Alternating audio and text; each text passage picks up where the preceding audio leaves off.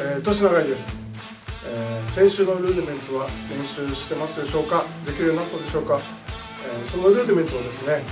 ドラムセットに応用してみようと思います。今週のルーデメンツはこれです、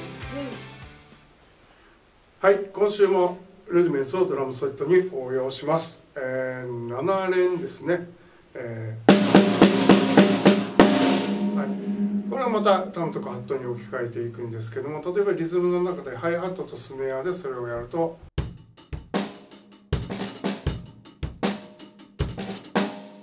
最後に一発アクセントつけてリムとか入れるとこ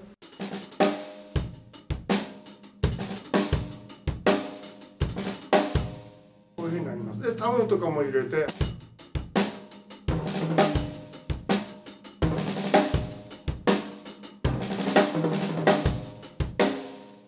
できますで、まあ、僕はドラムソロとかで。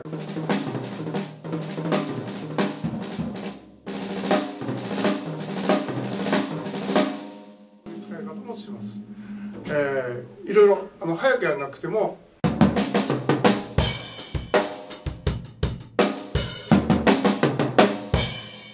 使い方もできます。これはシングルでいくと大変なので